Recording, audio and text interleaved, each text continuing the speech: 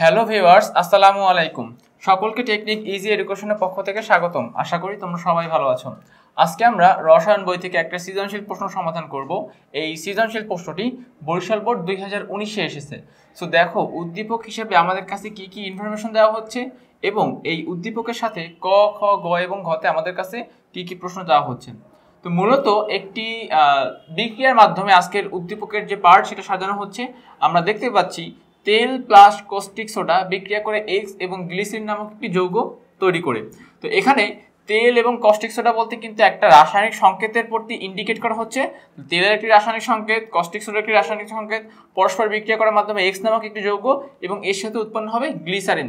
তো এইটাই হচ্ছে কি মূলত আজকের উদ্দীপকের যে মূল সারমর্ম, সেই মূল সারমর্ম। আচ্ছা এখন আসলে আমরা ধারাবাহিকভাবে প্রশ্ন উত্তর পর্বে চলে যাব। আমাদের কাছে ফার্স্ট যে কোশ্চেনটা চাওয়া হচ্ছে বা বলা হচ্ছে, সেটা হচ্ছে গিয়া পলিমারকরণ বিক্রিয়া কাকে বলে? আমরা কাকে পলিমারকরণ বিক্রিয়া বলব?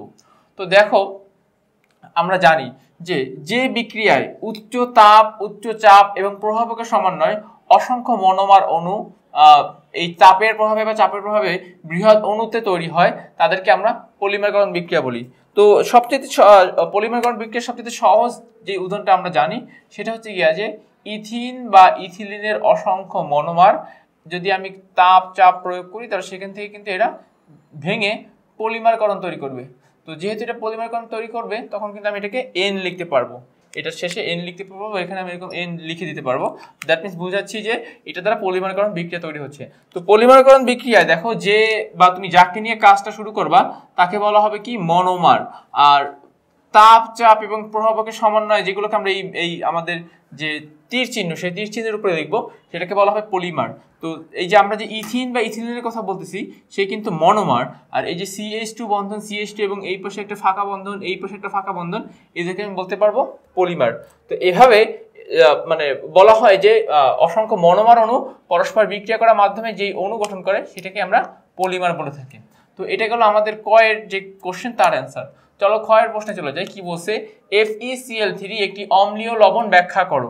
এফ ইসিএল থ্রি একটি অম্লীয় লবণ, সেটা আমাকে ব্যাখ্যা করতে হবে। তাহলে ফার্স্টে আসো, আমাদের এখানে একটা সূত্র আছে, সেই সূত্রটা আমরা একটু জেনে নেই। সূত্রটা কি দেখো? বলছে যে তীব্র অ্যাসিড ও মৃদু ক্ষার। তীব্র অ্যাসিড ও মৃদু ক্ষার বা ক্ষারক, যে কেউ হতে পারে এর সমন্বয়ে উৎপন্ন লবণের জলীয় দ্রবণ হচ্ছে গিয়া যে অম্লীয় প্রকৃতির হয়। অর্থাৎ অ্যাসিড যদি তীব্র হয়, ক্ষার বা ক্ষারক যদি মৃদু হয়, তাহলে আমরা জানি যে প্রশমন বিক্রিয়ায় অ্যাসিড এবং ক্ষার বিক্রিয়া করে লবণ পানি তৈরি করবে। তো যে কোনো অ্যাসিড এবং ক্ষার বিক্রিয়া করলেই কিন্তু সেখান থেকে আমরা লবণ পানি তৈরি করতে পারব। তো এখানে বলা হচ্ছে যে অ্যাসিড যদি তীব্র হয়, ক্ষার যদি মৃদু হয়, এদের সমন্বয়ে যে লবণটা তৈরি করব আমরা, সেই লবণটা জলীয় দ্রবণের প্রকৃতি হবে অম্লীয়। এটা সে সূত্র। এখন আসলে একটা উদাহরণ দিচ্ছি। আমরা এফ ইসিএল থ্রিকে কীভাবে পাচ্ছি? তো ferric hydroxide F EOS three এর সাথে হাইড্রোক্লোরিক অ্যাসিড আমি বিক্রিয়া অংশগ্রহণ করাচ্ছি। তো ফেরিক হাইড্রোক্সাইড কিন্তু একটা মৃদু ক্ষারক মানে খুব তীব্রতা সে প্রদর্শন করতে পারে না, আর এসিএল কিন্তু একটা তীব্র অ্যাসিড তাহলে অ্যাসিড হচ্ছে গিয়ে তীব্র, ক্ষারক হচ্ছে গিয়ে মৃদু। তো এদের সমন্বয়ে আমি এফিসিএল থ্রি নামক একটা লবণ তৈরি করতে পারতেছি এবং তিন অণু পানি তৈরি করতে পারতেছি। তো ওভারঅল এই যে পানি নিয়ে তো আমাদের এই বিক্রিয়া কোনো কাজ নেই, আমাদের কাজ হচ্ছে লবণ নিয়ে। তো মৃদু ক্ষারক এবং তীব্র অ্যাসিডের সমন্বয়ে যে লবণ আমি এফিসিএল থ্রি তৈরি করতে পারতেছি, এই লবণের জলীয় দ্রবণের প্রকৃতি হবে অম্লীয়। এটা হচ্ছে সূত্র। আশা করি তোমরা ক্ষয়ের অ্যান্সারটিও বুঝতে পেরেছ। চলো গয়ের প্রশ্নে চলে যাই। কি বলছে? উদ্দীপকের দ্বিতীয় বিক্রিয়কটি কীভাবে তৈরি করবে? সমীকরণ সহ ব্যাখ্যা করো। দ্বিতীয় বিক্রিয়কটি কিন্তু হচ্ছে গিয়ে গ্লিসারিন। আমরা কীভাবে গ্লিসারিনকে তৈরি করতে পারব? আমাদেরকে মূলত সেটাই হচ্ছে গিয়া যে দেখাতে হবে এখানে। সো দেখো আমরা আমাদের বিক্রিয়াটি কীভাবে সম্পন্ন করতেছি। এখন দেখো, দ্বিতীয় বিক্রিয়কটি কীভাবে আমরা প্রস্তুত করব সেটা সমীকরণ সহ ব্যাখ্যা করতে হবে। ফার্স্টে আসো আমরা, দ্বিতীয় বিক্রিয়কটি দেখতেই পাচ্ছি কস্টিক সোডা। কস্টিক সোডা বলতে সোডিয়াম হাইড্রোক্সাইড। তো এখানে সোডিয়াম হাইড্রোক্সাইড কীভাবে আমরা প্রস্তুত করব সেটা ব্যাখ্যা করতে হবে। তার আগে আমরা যে কাজটা করব, বিক্রিয়া কমপ্লিট করার মাধ্যমে তেল কোস্টিক সোডা এবং গ্লিসারিন সবার সম্পর্কে আমরা একটা পরিচয় জানতে যাচ্ছি তো দেখো, তেল বা চর্বির সংকেত হচ্ছে কি CS two CS CS two O CO R O CO R O CO R এই সম্পূর্ণ সংকেতটাকে বলা হয় তেল বা চর্বির সংকেত। এর সাথে যুক্ত করতেছি কাকে? সোডিয়াম হাইড্রোক্সাইড বা কস্টিক সোডাকে সাথে সংযুক্ত করতেছি। এখান থেকে আমরা কি প্রোডাক্ট পাবো দেখো? এখান থেকে আমরা প্রোডাক্ট পাবো। দেখো CS two CS two CS two CS CS two এবং এখান থেকে আমরা সোডিয়াম হাইড্রোক্সাইডকে যদি আমরা ভাঙি, তাহলে আমরা দুইটা অংশ পাবো। একটা হবে সোডিয়াম প্লাস আর হচ্ছে হাইড্রোক্সিল মাইনাস তো এখান থেকে আমরা এটাকে দেখতে পারি সোডিয়াম প্লাস আর এখান থেকে দেখতে পারি হাইড্রোক্সিল মাইনাস ওকে তো এরপরে দেখো সোডিয়াম প্লাস আর হাইড্রোক্সিল মাইনাস তো হাইড্রোক্সিল মাইনাসগুলো যুক্ত হবে সিএস টু গ্রুপের সাথে। তো সিএস টু গ্রুপের সাথে দেখো আমার সম্পূর্ণ এই যে অংশটা, এই যে এই তিনটা অংশ, তিনটা অংশকে কিন্তু আমি এখান থেকে সরিয়ে নিব। শুধুমাত্র CS two CS CS two থাকবে, এর সাথে যুক্ত হবে হাইড্রোক্সিল মূলক। তাহলে তৈরি হবে গ্লিসারিন তো বাকি থাকবে কে কে? দেখো, বাকি থাকতেছে তিনটা আর আর ও সি ও এটাকে আমরা লিখতে পারি সি ডাবল অর্থাৎ একটা কার্বন দুইটা অক্সিজেন আমরা এটাকে একত্রে সি ডাবল লিখতে পারি। তো সি ডাবল আর আর আর এখান থেকে আছে সোডিয়াম এবং সোডিয়াম রয়েছে তিনটা। তো আমি একত্রে R C double N A লিখতে পারি এবং সামনে তিন দিয়ে দিলাম, যেন আমার বিক্রিয়া যে ব্যালেন্স করতে হয়, সেই ব্যালেন্সিংটা যেন কমপ্লিট হয়ে যায়। তো এই যে R C double N A এটা হচ্ছে সাবানের সংকেত, যেটাকে আমাদের এই প্রশ্নে এক্স দ্বারা প্রকাশ করা হচ্ছে। তো আমি এই বিক্রিয়া কমপ্লিট করার মাধ্যমে কিন্তু চারটা বস্তু সম্পর্কে আইডিয়া পাচ্ছি। তেল কস্টিক সোডা সাবান এবং গ্লিসারিন যেখানে এক যোগ্যটা হচ্ছে গিয়ে সাবান। এখন বলা হচ্ছে যে দ্বিতীয় যৌগটির বা দ্বিতীয় বিক্রিয়কটির, তো দ্বিতীয় বিক্রিয়কটি কিন্তু এখানে সোডিয়াম হাইড্রোক্সাইড এখন আসলে সোডিয়াম হাইড্রোক্সাইডকে আমরা কীভাবে প্রস্তুত করব? তো দেখো, এখানে একটা লাইন লেখা আছে, সেটা হচ্ছে কি যে সমুদ্রের পানির গাঢ় দ্রবণ, এইটাকে যদি আমরা তড়িৎ বিশ্লেষণ প্রক্রিয়া প্রয়োগ করি, তো সেখান থেকে কিন্তু আমি সোডিয়াম হাইড্রোক্সাইড পাই।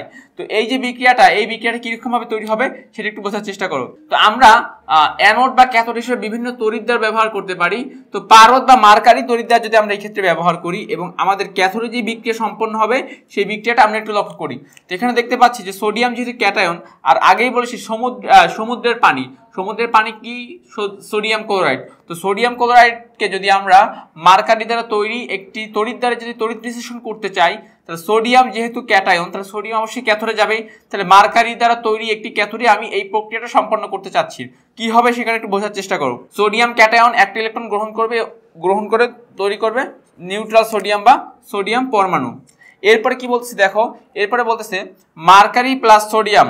অর্থাৎ আমি যেহেতু মার্কারি তড়িৎদ্বারে বিক্রিয়া সম্পন্ন করতেছি, এখন দেখো আমরা যে ফার্স্টে সোডিয়ামকে পরমাণু হিসেবে মুক্ত করেছি, এখন মার্কারির সাথে যদি সোডিয়ামকে যুক্ত করি, তাহলে সোডিয়াম মার্কারি তৈরি হবে। এখন এই যে আমরা যে এখান থেকে যে যৌগটি পাচ্ছি, এর সাথে যদি পানির বিক্রিয়া করাই, তাহলে কি তৈরি হবে? দেখো সোডিয়াম গিয়ে যুক্ত হবে হাইড্রোক্সিল মূলকের সাথে। সোডিয়াম এবং হাইড্রোক্সিল মূলকের সাথে যুক্ত হয় সোডিয়াম হাইড্রোক্সাইড। মার্কারি একা হয়ে যাবে। আর এখান থেকে হাইড্রোক্সিল মূলকের সাথে যে হাইড্রোজেনগুলো ছিল, ওরা পরস্পর যুক্ত হয়ে হাইড্রোজেন গ্যাস তৈরি করবে। তো বিক্রিয়াটা ব্যালেন্স করতে হলে আমার বিক্রিয়ক যে পদার্থ আছে, সেই পদার্থগুলোকে দুই অনু করে নিতে হচ্ছে। এটাও দুই অনু নিব, পানিকেও দুই অনু করে নিব। নিলে কি হবে? দেখো, দুই অনু সোডিয়াম হাইড্রোক্সাইড তৈরি হবে। দ্যাট মিনস তোমার এখানে মোট দুইটা হাইড্রোজেন দুইটা হাইড্রোক্সিল এর মধ্যে থেকে দুইটা হাইড্রোক্সিল এখানে চলে গেল। বাকি যে দুইটা হাইড্রোজেন এটা পরস্পর বিক্রিয়া করে বা পরস্পর মিলিত হয়। এইচ টু গ্যাস তৈরি করবে, আর এখান থেকে বাকি থাকতেছে দুইটা মার্কারি, শুধু দুইটা মার্কারি। তো আমার মূলত দরকার ছিল এই যে সোডিয়াম হাইড্রোক্সাইডটা প্রস্তুত করা। তো আমি এভাবে বিক্রিয়া সম্পন্ন করে সোডিয়াম হাইড্রোক্সাইডটি প্রস্তুত করলাম। তো আশা করি এই যখন এই যে সকল বিক্রিয়া তোমাদেরকে এখানে দেওয়া হয়েছে, এগুলো যদি সুন্দরভাবে খাতায় লিখতে পারো, আমাদের গয়ের আনসারটি কমপ্লিট হয়ে যাবে। চলো সর্বশেষ প্রশ্নে চলে যায় কি বলছে? এক্স যৌগটির ক্রিয়া কৌশল ব্যাখ্যা করো এবং এর অতিরিক্ত ব্যবহার পরিবেশের জন্য ক্ষতিকর যুক্তিসহ মতামত দাও। তাহলে আমরা কিন্তু এই যে বিক্রিয়া কমপ্লিট করে দেখতে পাচ্ছি এক্স যৌগটি হচ্ছে কি সাবান। সাবান কীভাবে ক্রিয়া করে? সাবান কীভাবে ময়লাকে দূর করে?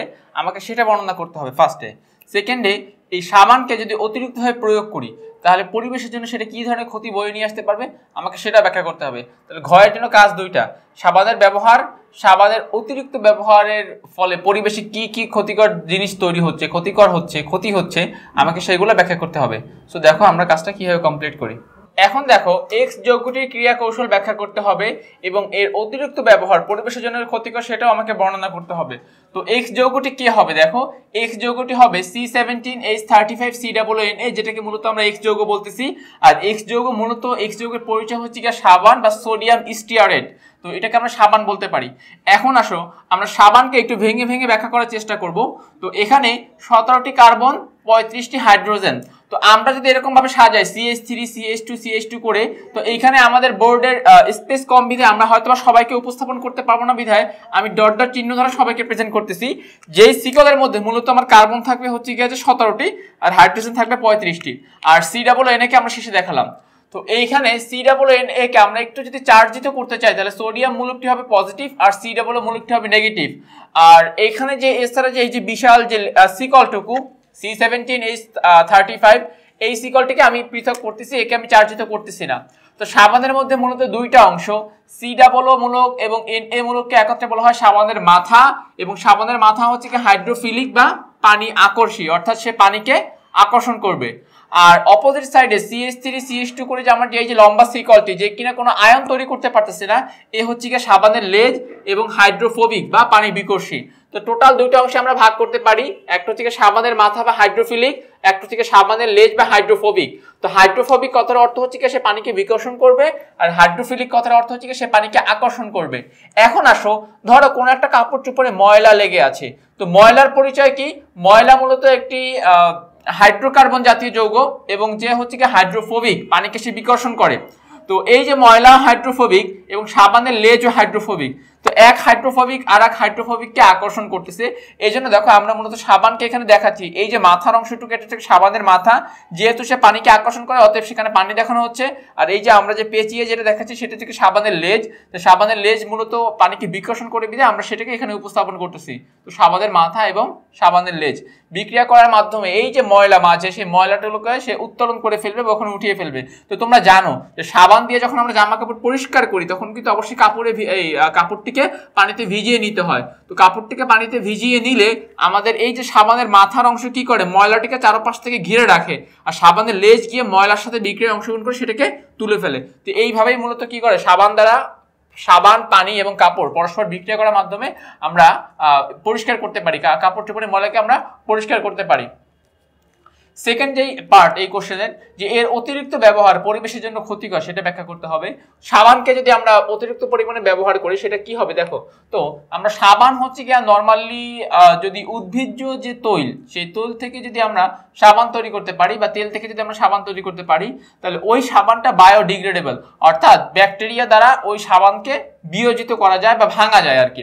তো যদি আমরা নর্মাল ফ্যাক্টরিতে যে রাসায়নিক পদার্থ দ্বারা যে আমরা সাবান তৈরি করি কেমিক্যাল না উদ্ভিদ বা প্রাণী ছাড়াও যদি অন্য কোনো উপায় সাবান তৈরি করি, সেটাকে কিন্তু সহজেই ব্যাকটেরিয়া বিয়োজন করতে পারে না বা ভাঙতে পারে না।